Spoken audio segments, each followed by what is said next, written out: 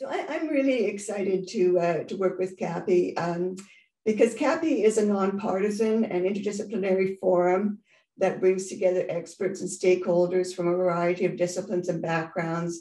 And it provides independent analyses of agri-food policy issues. And I think that independence and interdisciplinarity is very important. And working with CAPI is a unique opportunity for me, uh, this chance to work with other experts and stakeholders to address challenges facing the Canadian agri-food sector is, is really important to me. My research focuses on uh, what I'll call the governance models that characterize relations among Canada's federal and provincial territorial governments and other stakeholders in making and implementing policy in the agri-food sector that are involved in making and implementing policy for agriculture and food. Now, these governance models include collaboration, for example, around the framework agreements, but they also include governments acting independently and non cooperatively.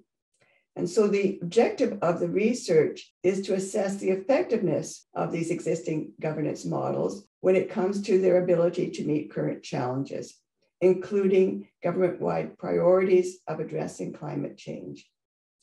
My research will also include a comparative case study of the European Union's Common Agricultural Policy, or CAP as we call it.